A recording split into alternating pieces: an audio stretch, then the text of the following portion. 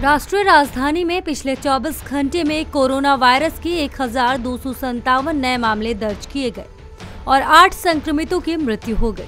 दिल्ली सरकार के स्वास्थ्य बुलेटिन के अनुसार दो महीने से अधिक समय में पहली बार एक दिन में मौत के मामले 10 से कम हुए हैं।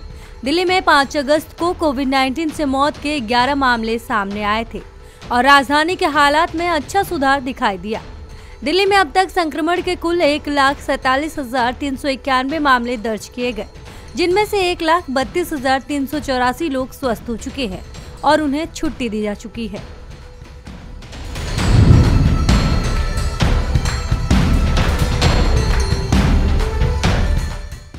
जम्मू कश्मीर प्रशासन ने 16 अगस्त से माँ वैष्णो देवी की यात्रा को शुरू करने की इजाज़त दे दी है।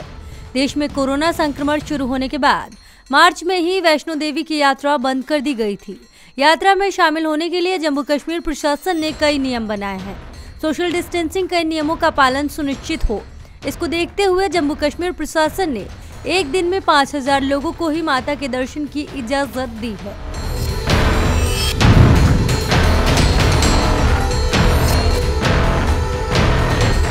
वैश्विक महामारी कोरोना का संकट अमेरिका में भी लगातार बढ़ रहा है।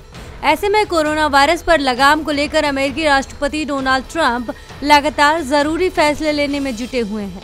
इसी के मद्देनजर उन्होंने बताया कि अमेरिकी प्रशासन वैक्सीन बनाने वाली कंपनी के साथ एक समझौते की तैयारी में है। इसके पूरा होने पर कंपनी कोरोना वायरस को लेकर वैक्सीन तैयार करेगी, जिसकी 10 करोड़ डोज वो उपलब्ध कराएगी।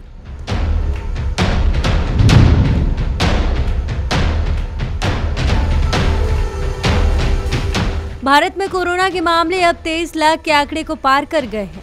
देश में संक्रमण के बढ़ते केसों के बीच कुछ राज्य ऐसे हैं जहाँ टेस्टिंग की संख्या बाकियों के मुकाबले अब तक काफ़ी नीचे रही है। एक दिन पहले ही प्रधानमंत्री नरेंद्र मोदी ने ऐसे राज्यों का नाम लेकर कहा था कि बिहार, गुजरात, यूपी, पश्चिम बंगाल और तेलंगाना में टेस्टिंग बढ़ाने पर खास बल देने की बात सामने आई है।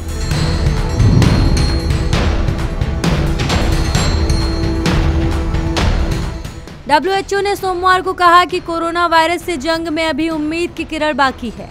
डब्ल्यूएचओ का बयान ऐसे वक्त में आया जब पूरी दुनिया में कोरोना संक्रमितों की संख्या बढ़कर दो करोड़ के पार हो गई है। इस जानलेवा वायरस की चपेट में आने से अब तक साढ़े सात लाख लोग अपनी जान गंवा चुके हैं। डब्ल्यूएचओ के निदेशक टेड्रोस अधनोम ने जेनेवा में एक पीसी के दौरान कहा मैं जानता हूँ आप में से बहुत से लोग काफ़ी दुख में हैं। पूरी दुनिया के लिए बहुत मुश्किल समय है। लेकिन मैं स्पष्ट कर देना चाहता हूँ कि हमारे पास अभी भी उम्मीदें बाकी हैं। फिर चाहे वो कोई देश, क्षेत्र, शहर या कोई कस्बा ही क्यों ना हो। कोविड 19 को रोकने में अभी भी बहुत देरी नहीं हुई है।